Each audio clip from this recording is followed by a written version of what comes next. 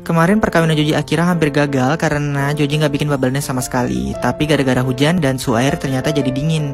Jadi gue tunggu sampai besok cuaca cerah dan ternyata bubble nestnya udah ada dong. Nah berarti ini udah waktu yang pas untuk ngelepasin betina alias si Akiranya. Ini gue biarin akhirnya keluar dengan konsen dia sendiri, tapi ternyata didatengin sama Joji dong dan dia kayak malu-malu gitu.